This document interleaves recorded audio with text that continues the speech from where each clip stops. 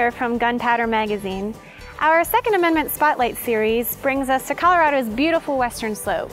Today we're in downtown Rifle, home of the Shooter's Grill, where carrying a gun isn't just permitted, it's pretty much part of the uniform.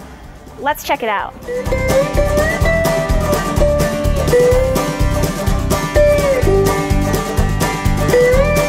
Every waitress at Shooter's Grill carries a gun.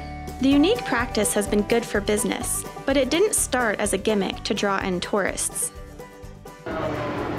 This all got started, Lauren, because you didn't start out um, with the idea of planning to have a restaurant where all the waitresses carried, right?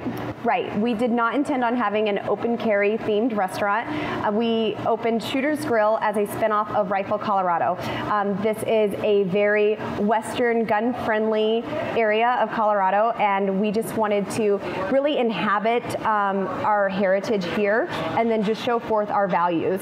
Um, it wasn't until about a month after we opened, there was an altercation in the alley behind us, and a man was actually beat to death. And that was the first time that I actually feared for my safety and the safety of others. I was here alone a lot. I was here in the morning before anyone else arrived, um, after hours, and I started to question what would I do in a scenario that someone else tried to physically harm me or someone else even. And I don't have a physical way to protect myself. I'm five foot zero, and I just don't have the strength to feed off an attacker. So um, I actually sought out advice um, from a local business owner, and he told me about open carry laws in Colorado, and I immediately began to open carry.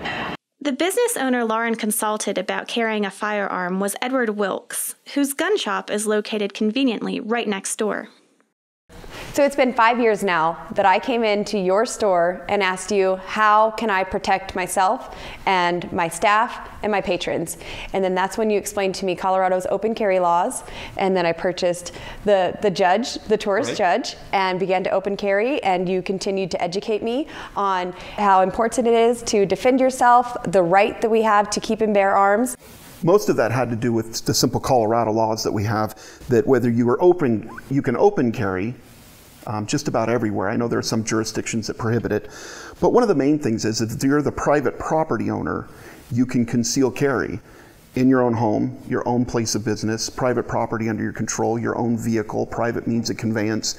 So there were some openings that you had there, even if you wanted to carry concealed. I think I, I came into the restaurant open carrying. Eventually, I had waitresses come and ask me if they could open carry as well, and I permitted that.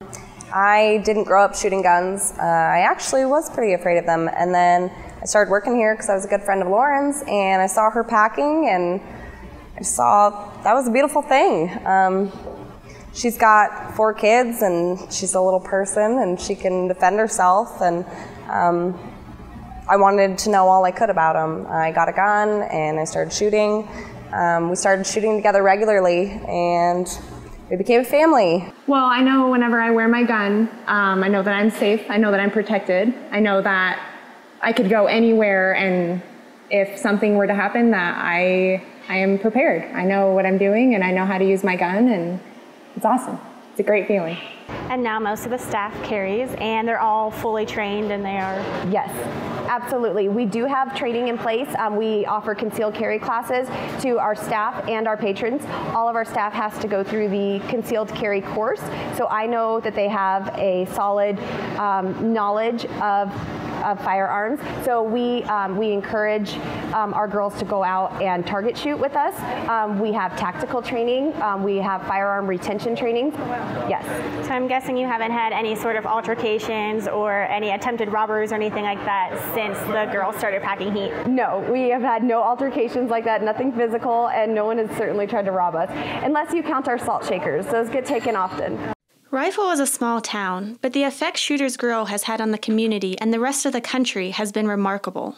One thing that you and your restaurant did was that it spread this word on, on, a, on a broader scope and got people to think about it, got people talking about it, and began discussing the fact yeah, that's why a crime rate would be lower if everybody can go around and carry open carry. So one of the things that we've seen from your restaurant is that it's spilled out in a very positive way to other establishments. We've seen banks, city market, local establishments be open to the fact of open carry. Far from attracting a rough crowd or deterring would be patrons, the presence of guns has actually increased business at Shooter's Grill significantly. I, I, definitely believe that us having this stance on the Second Amendment and open carry and defending the rights of the American citizen has brought people in that would have never come to Rifle, Colorado before. They would have never visited our area and they certainly would have never come through our doors and sat down and had a burger. Um, but we've actually seen people come as far as Australia. Um, I had a family that intended on going to Las Vegas and they wanted to come in and see Shooter's Grill in Rifle, Colorado. So they flew into Denver and drove through Rifle so they can stop here and eat. The novelty of pistol packing waitresses may draw customers in, but it's the food that turns them into regulars. I would definitely say that our stance on the Second Amendment is very important to get people through our doors for the very first time, but what keeps people coming back is our food. Um, we have always strived from the beginning to serve the highest quality food, and I, I really am proud of that. Um, even in our off tourist times, um, even in, in, our off season, our locals are what keeps our business going. They are what drives us.